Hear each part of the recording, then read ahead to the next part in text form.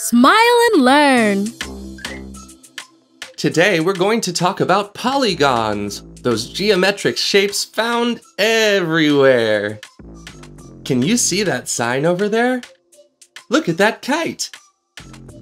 I'm going to draw them in my sketchbook.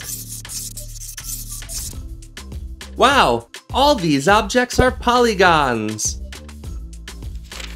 A polygon is a plane figure described by a closed polygonal line. Look at these shapes! Can you see a polygon? The first shape is not a polygon because its polygonal line is not closed. The second shape is not a polygon either because it has a curved side. That's it! The third shape is a polygon because it's formed by a closed polygonal line. Polygons are formed in several parts. The sides are each of the lines or segments that form the polygon.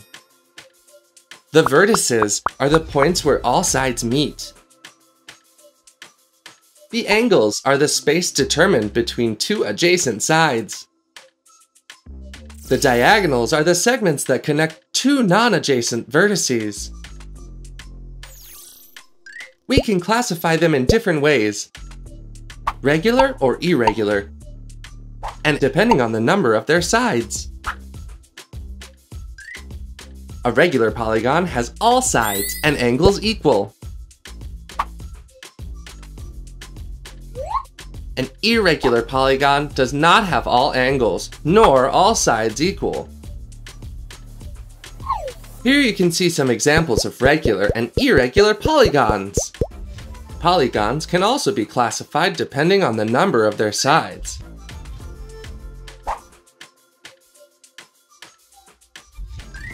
Triangles are those polygons that have three sides.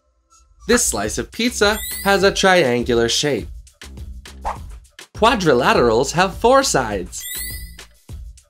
This sandwich or this kite are quadrilaterals. Pentagons have five sides.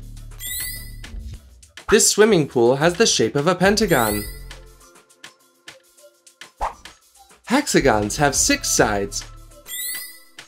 These honeycomb cells have the shape of a hexagon. There are many types of polygons, but to learn how to read them, you need to use the corresponding prefix. It's very easy. A seven-sided polygon is a heptagon, and an eight-sided polygon, it's an octagon, and so on. Let's recap everything we learned about polygons. They are plane figures described by a closed polygonal line.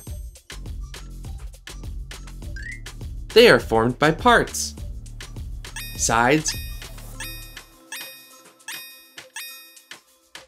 vertices,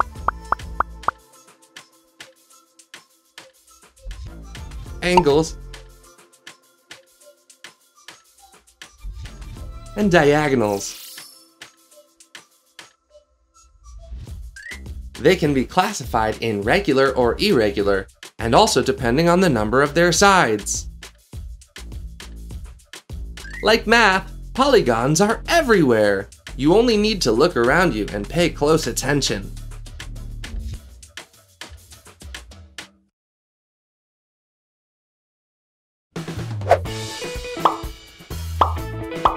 Did you like the video? We have so many more! Subscribe by clicking on the seal. Ah, and if you want to keep watching more videos, click on the boxes.